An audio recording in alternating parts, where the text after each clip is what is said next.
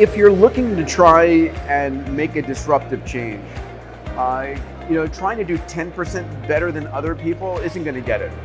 Uh, what you really need to do to really uh, break into an industry and create a revolution is what we call moonshot thinking, which is really a 10x change, uh, going 10 times bigger versus 10% bigger. So when it forces you, when you do that, it forces you to think at a totally different scale.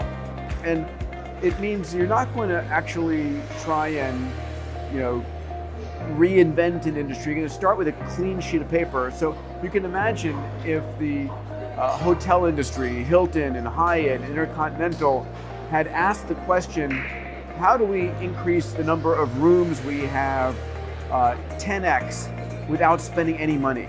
Most people would have said that's crazy, can't be done. Of course, you can do it. That's what Airbnb did. And so it really, uh, moonshot thinking is, is thinking in a completely disruptive, crazy fashion and realizing that the day before something is truly a breakthrough, it's a crazy idea. So when we talk about moonshot thinking, what we're talking about is aiming big, solving a problem that matters, that matters to you, that matters to people that work to you, and that matters to customers. Uh, and sometimes that's the really big, really hard problems are the ones that there's more of a market for if you actually solve it. It was General Patton in World War II who said, if the problem's too small, try making it bigger. Because the biggest problems are the ones that your customers will feel most passionate about if you solve them, and that you'll have employees who are passionate about and want to be part of.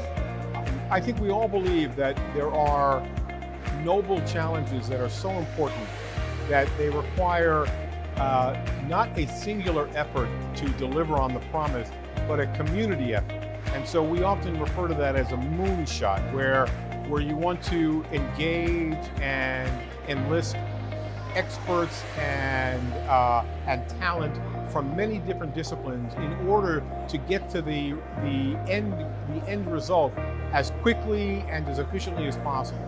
And so I think moonshot thinking is the best way to make a quantum advance in any technological field.